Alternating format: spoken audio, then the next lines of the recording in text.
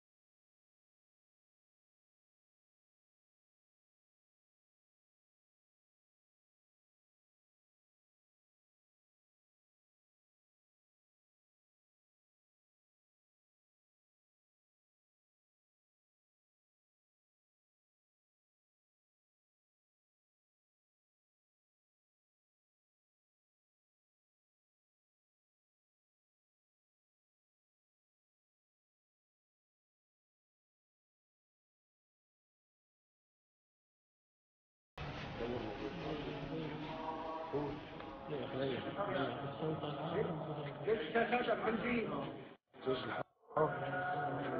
جيش الله جيش عناصر الجيش الحر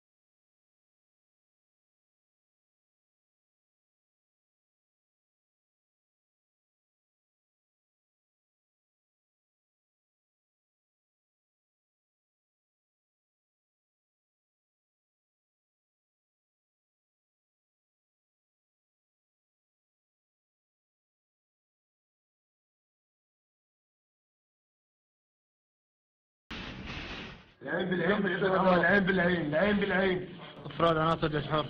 ان شاء الله